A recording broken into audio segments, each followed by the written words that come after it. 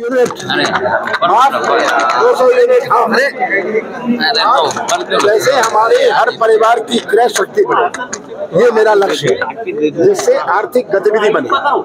आज बहुत बड़ी आवश्यकता है मध्य प्रदेश में कि आर्थिक गतिविधि बढ़े और आर्थिक गतिविधि तभी बढ़ेगी जब हम किसानों की मदद करेंगे हर परिवार की मदद करेंगे। इसका लक्ष्य ये है। सर और क्या योजनाएँ हैं? किस तरह से चुनाव? ये जो ये जो कर्जा बढ़ेगा सर जो योजनाएँ आप भी ला रहे हैं शिवराज जी भी ला रहे हैं किस तरह से देखिए कर्जे तीस तीन लाख तीस करोड़ रुपए का कर्जा लिया है। इस कर्जे को पटाने के लिए और कर्जा लेना पड़ेगा। पर ये कर्जे का उपयोग क्या हुआ? क्या ये तीस तीन लाख तीस हज़ार करोड़ रुपए से हमारे पेंशनर्स को लाभ हुआ? क्या हमारे आशा उषा कार्यकर्ताओं को लाभ हुआ? क्या हमारे संविदा को लाभ हुआ? क्या हमारे आउटसोर्स वालों को लाभ हुआ? ये बड़े बड़े ठेके दिए इन्होंने। और ठेके किस लिए दिए? मुझे समझाने की ज़रूरत नहीं। लेकिन सर आप जो योजना ला रहे हैं उससे भी बढ़ेगा कर्जा।